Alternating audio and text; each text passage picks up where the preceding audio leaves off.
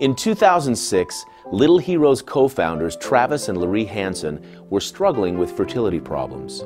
Laree Hansen began looking into adoption. The first year that we were out here in Russia, I had done um, in vitro fertil fertilization for the second time before coming here, and I miscarried. And when I got here, I, I didn't have any friends, I didn't know anyone, and it was really dark and lonely, and I was pretty depressed.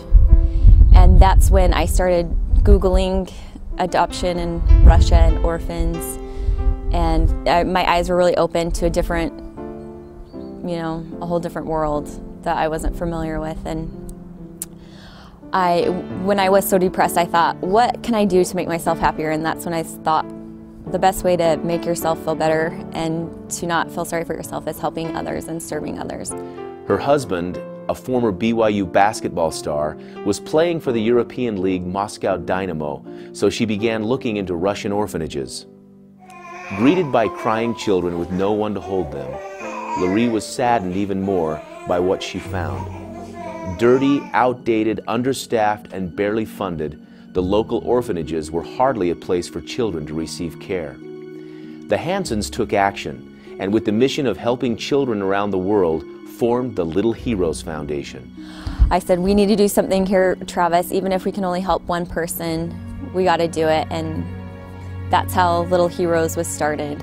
Together with founding sponsor Nature's Sunshine, the Little Heroes Foundation has worked to improve the living conditions, medical care, and educational opportunities of many orphans in the former Soviet Union. Little Heroes recently completed the first phase of renovations on a new baby hospital in the town of Lyubertsy, Russia.